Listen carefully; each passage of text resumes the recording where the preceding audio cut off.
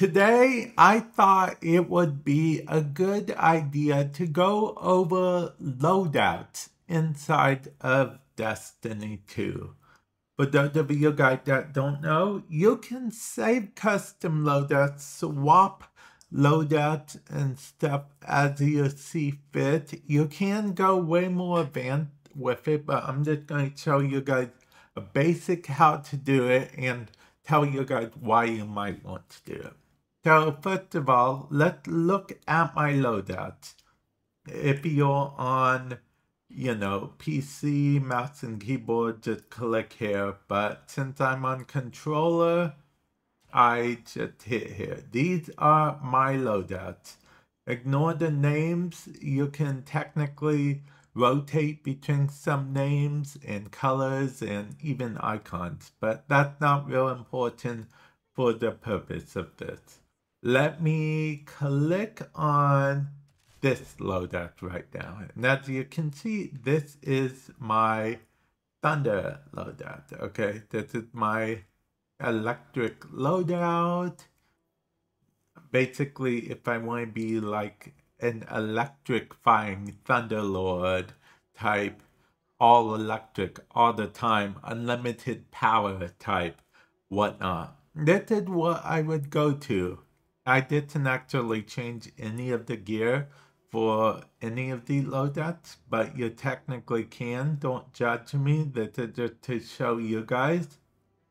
And then let's say I wanted to show you guys all that the cold doesn't bother me anyway. I would switch to this, which is frankly my cold loadout. It's all focused on cold, particularly this one is focused on the idea of Bleak Watcher. Okay, I'm just kind of showing you guys this isn't, isn't a full review of my loadout. Again, do not judge me because, like I said, that oh, I didn't even know I had this catalyst. Oh well. Anyway, and that's a that particular loadout. And then, you know, we have another loadout, which of course is the loadout I was in to begin with. Oh, and I'm going to go ahead and show you guys something cool with the, the loadouts, okay? Now I'm going to go ahead and as you see, one of my loadouts includes this. I'm going to store it in my vault. And then I'm going to store the Thunderlord in my vault as well. Okay? I know what you're thinking. But if there's swords in your vault, you can't get them out, right?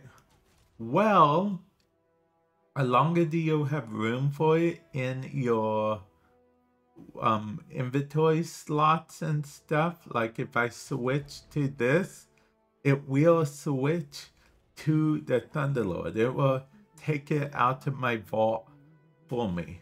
Likewise, if I switch to this, it will take that out of my vault for me. Keep in mind, it's taking these out of the vault for you. So it does it take up a slot. But in theory, you can keep on just um, putting it in the vault each and every time. Now, this is if it's in the vault. If it's dismantled, you don't have one, and it, I don't think it can return dismantled stuff.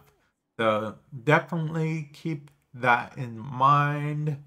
That's just a quick way to get out of your vault if you've stored it in your vault, I suppose, and to unlock more loadouts, because I know some of you guys are going to ask. Um, complete Guardian rank objectives to unlock this loadout slot. Visit the Journey tab to view progress. And by Journey tab, it means literally the tab right here. That is how you unlock them.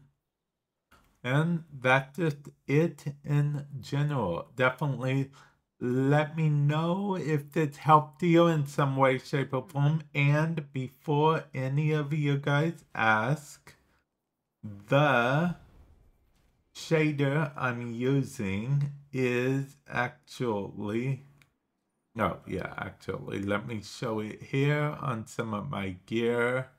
The shader I'm using is in fact super black shader. I have a video on how to get the super black shader at the time at this time before the final shape comes out because chances are it will be different on how you get once the final shape is out. But yeah, hopefully this helped you. But with that said, before I end it, I'd like to you know, kind of show you guys how this works in mission, like legit in mission. As you can see, we go ahead and use this. My teammates are probably wondering why I'm, you know, using that up. But then we switch here and it switches everything for us right away. As you can see, we are using this now. And that means we also have the Thunderlord. But, I mean, let's say, let's say, oh, the Thunderlord isn't working like we hoped. Well, we can, I do advise against the switching all willy-nilly like this unless you're doing like some super MLG plays. We will, whoops, wrong button. We will then proceed to switch once again. And as you see, we do still have our past um, wellspring thing. Call it a, uh, you know, plus side of being a warlock, I guess, in this particular case. So yeah, as you see, our switching did actually work out pretty well overall. And for our final thing, let's switch back to where we were to begin with. As you see, our weapons switched as well right away, almost instantly. And yeah, hopefully, like I mentioned before, you found it helpful in some way, shape, or form.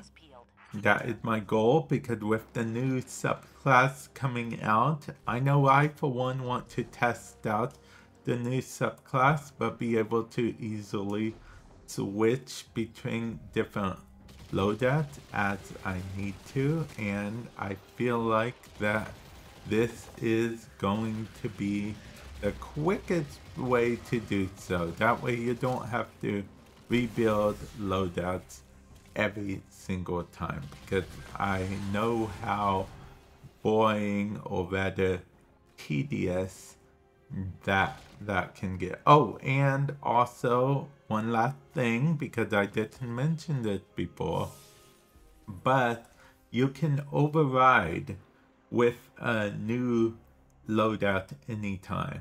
Anytime you come up with a new loadout, you can override the current loadout with the new loadout. So definitely keep that in mind. It's not like a once you do that loadout, you're stuck forever thing. But yeah, with that said, I will catch you guys in the future. Later.